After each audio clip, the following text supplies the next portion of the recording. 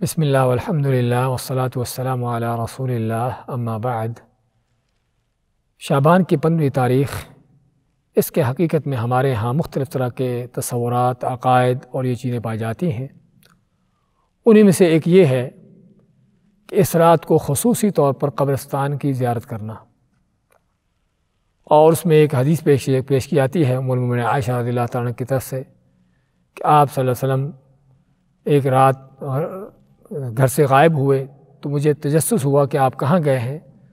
तो मैं आपके पीछे गई हती कि आपको देखा कि आप बकी में जाते हैं और वहाँ पर जाकर वहाँ के जो फौत होने वाले, दफन होने वाले लोग थे, उनके लिए आप दुआ करते हैं। और ये हदीस जो है, हकीकत में सनद के अतबार से ज़यीफ़ है, सही नहीं हदीस। लेकिन अगर मान भी लिया जाए कि किसी ने इसको सही कहा भी हो, तब भी आपकी ज़िंदगी भर का सिर्फ़ एक बार का अमल है। ये नहीं कि आप हर साल शाबान की पंद्रहवीं तारीख को कब्रस्तान में जाया करते थे और इस तरह के अहतमाम करते थे। पहली बात तो हदीस ज़यीफ़ है। तो कहने का मकसद इसलिए शाब कब्रों की याद करना सुन्नत है और करना चाहिए क्योंकि आप फरमाते हैं कि इसमें तुमको आखिरत याद दिलाती दिलाती हैं कब्रें। लेकिन उसके लिए कोई रात ख़ास करना, किसी दिन को ख़ास करना ये वो चीज़ है कि जिसके लिए हमारे हमारे पास कोई दलील चाहिए, अल्लाह के नबी वसल्लम की कोई सही सुन्नत चाहिए। अगर आपके तरफ़ से कोई सही दलील और सुन्नत नहीं है तो हमें भी ऐसा काम नहीं करना चाहिए कि जो आपसे साबित नहीं है।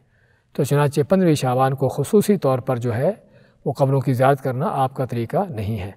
इसी तरह, पंद्रहवीं शाबान को बाद लोग जो है, वो चरागा करते हैं, घरों के अंदर, कब्रस्तानों में भी।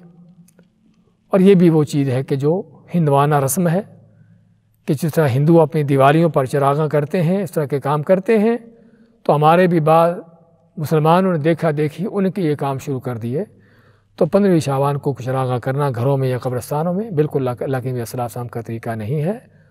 और बल्कि बाद लोग इससे भी बढ़कर मज़ीद क्या करते हैं कि आतशबाजी करते हैं, पटाखे चलाते हैं छुलियाँ चलाते हैं, कोई इस तरह के काम करते हैं।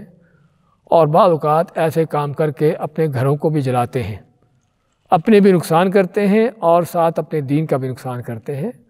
और कोई शक नहीं कि ये इस काम को, इस चीज़ को हमें बताने की हकीकत में ज़रूरत नहीं होनी चाहिए, क्योंकि हर अक्लमंद आदमी इन बातों को समझ सकता है कि ये काम, क्या वाकई दीन का काम हो सकते हैं।